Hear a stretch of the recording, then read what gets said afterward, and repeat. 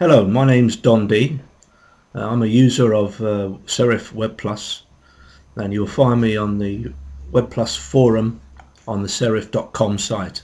In this tutorial I'm going to be uh, doing the button designer. I'm going to be using real estate template uh, for all my tutorials. On the left hand toolbar where you see insert navbar click the small arrow next to it and you'll see some new buttons. Insert button insert separator insert panel. I'll be dealing with the bottom two at a later time. But uh, we're going to insert a button into this site. Click that insert button and the edit button window dialog appears. Uh, there's a small pencil to the right of the button to take you, if you click it, takes you into the button editor. And around the button editor you've got the, the main design window in the center and then you've got the studio to the right hand side with the with the colors, transparencies, lines and whatever else and the styles and at the bottom you see the button states normal, down, hover, disabled, menu, right and menu below. To the right of that is the button size. Uh, the default size is 80 by 20. Now, we, a quick design is just to put a color to the background. If we double click the background state and then put a quick shape onto this with a color you will see that it populates the whole all the button states. And you can give it a style. We've got inner bevel. We click that and it gives it a little bit of something to make it look like a button.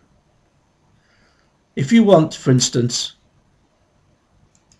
the down button to be a different color, double click that to open up in the in the uh, in the window. Quick shape. Put a quick shape over the top and you will see that it may look as if the, the text has been hidden but once you let go of the button the button at the text is always on top. I'll give that a different color. And we click the inner bevel there to give it the same sort of design as the others. Now we come to the text. If you double click the normal state click the text to highlight it you'll see the toolbar appear here.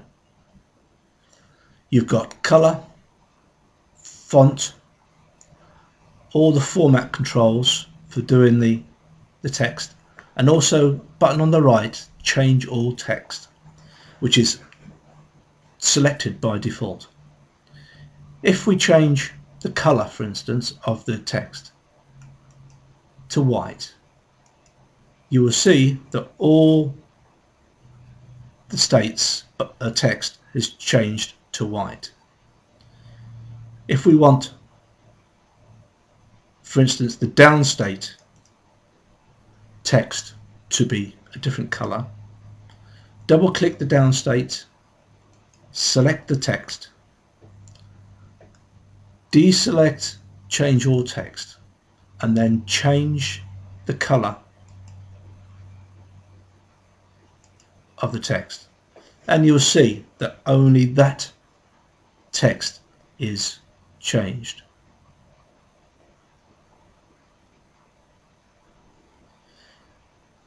You can format the text with the controls here as we've got this selected if we say left align the text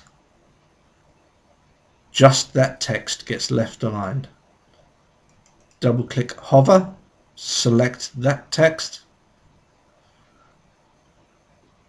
and right align, only that text gets right aligned And so on. We'll take this back to central like so. Once you're happy with your design, um, I forgot to mention of course that you can put pictures into the design instead of quick shapes or as well as quick shapes. Once you're happy with your design you can commit to changes or if you're not happy at all with what you've done you can cancel out and come out completely. So commit to changes which will take you back to the edit button. Now before I leave the edit button there are presets for buttons that you can use uh, instead of going into the design uh, studio. If you click the button you have different types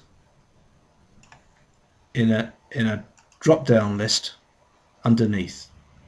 There's quite a number but I'll leave that for another day.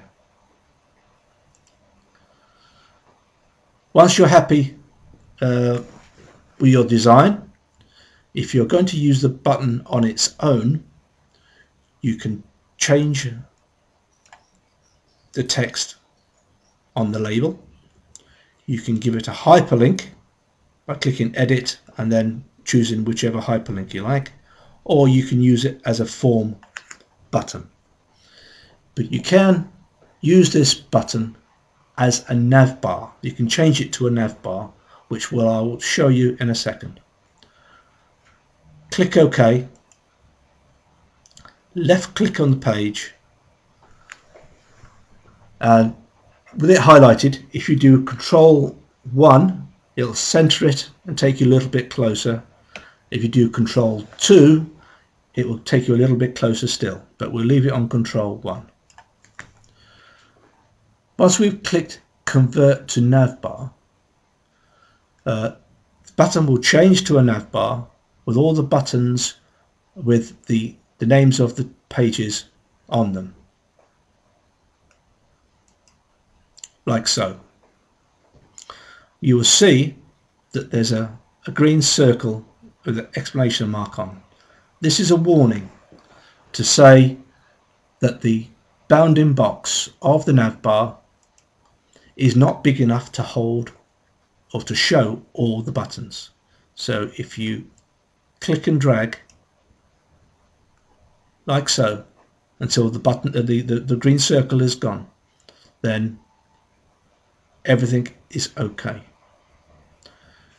If you double click home now you will see that the home button is the down state that we had set as red and if you click the others they will change as well. Well, how about this has given you an insight into the, uh, the nav button. There is there is more work to do with the with the nav bar, but uh, I'm going to cover that in another tutorial. Okay, thanks very much for looking in. Goodbye.